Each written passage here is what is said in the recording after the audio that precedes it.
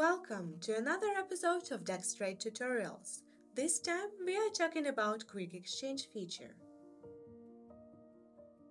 First, we'll go briefly through the general explanation of the uses of this service and a step-by-step -step guide will be provided after that.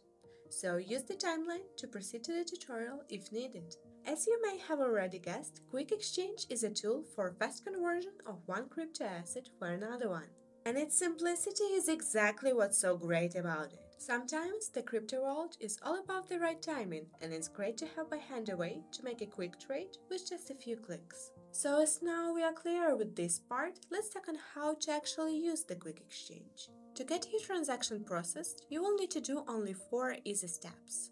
So step number one is to open the quick exchange page, and you may easily find it in the trading section of DexTrade website. The next one is to select the coins or tokens you want to exchange from the drop-down list, as you see on the screen now. And the third step is to enter the number of the coins you want to exchange, and you are ready to click the preview conversion. Don't worry, by clicking this button, the exchange will not process yet, but the screen will show preview information.